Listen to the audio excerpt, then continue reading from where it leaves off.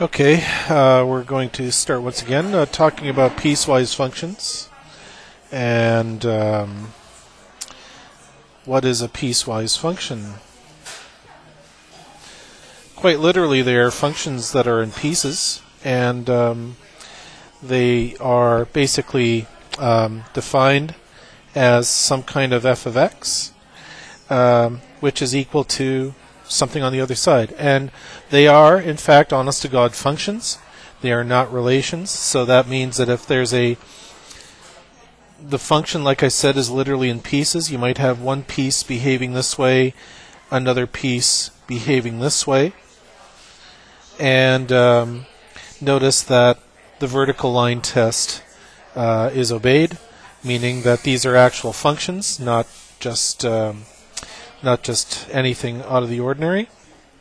So the only thing is that we have uh, the only difference is that for piecewise functions for different parts of the domain, uh, it's going to uh, obey different rules. So maybe we have x plus 3 on one part of the domain, and let's say x squared minus 1 on another part of the domain. And so we can define a rule saying that x plus 3 is obeyed so long as x is, say, less than 0, and x squared pl- plus 1 takes over when x is greater than or equal to 0. So notice that all parts of the domain are defined. There is no overlap in the domain. Otherwise, of course, we would start getting two functions for the price of one and all that, um, which isn't allowed for a function.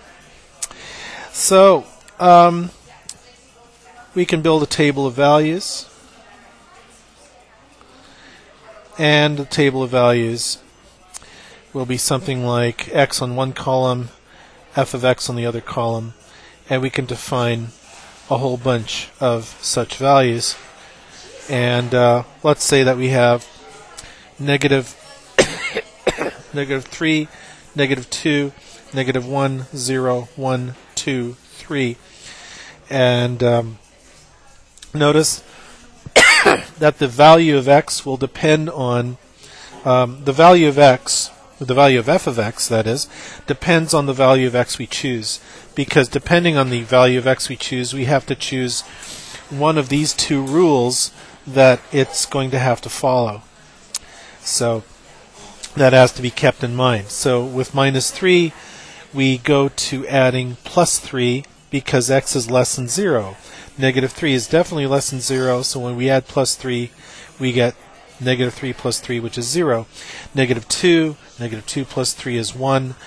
Uh, negative 1, uh, negative 1 plus 3 is negative is positive 2.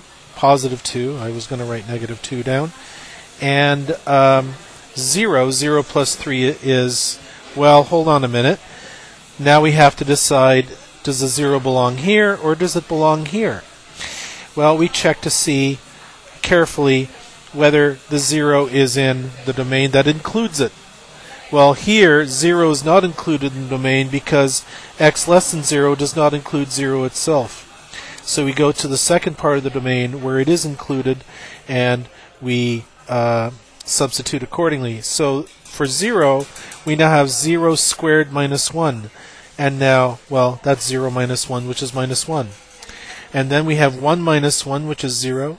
2 squared, 2, well, 2 is greater than 0. 2 squared is 4. 4, 4 minus 1 is 3. And then 3 squared, well, 3 squared is 9, minus 1 is 8. So then we go over here, we build a graph. And we build one that way too. So let's now plot some points. Negative 3, 0, less negative 1, negative 2, negative 3, negative 3, 0 is there. Negative 2, 1 is here. Negative 1, 2 is here. But um, 0, negative, or sorry, the next point ought to be 0, 3 because 0 plus 3 should equal 3, but remember 0 is not part of the domain. However, all parts leading up to it are part of the domain, meaning that all parts here, these are all part of the domain, and so are these. And this goes forever in the negative direction. But it does not include the point zero three because, of course, 0 is not part of the domain of that piece of the function. That's where other parts take over. And so you have 0, negative 1 as a definite point, and then 1, 0, that's another point, and then 2, 3, that is here, and then 3, 8, 3, that's 1, 2, 3, and that's 3, 4, 5, 6, 7, 8, that's all the way up here, and we can see we get half of a parabola which I'm trying to carefully draw. So as you can see here, there's two pieces to the function. Definitely two pieces to the function. Uh, this function ends suddenly over here. It does not include uh, zero x equals zero itself, whereas this one does include x equals zero as part of its domain.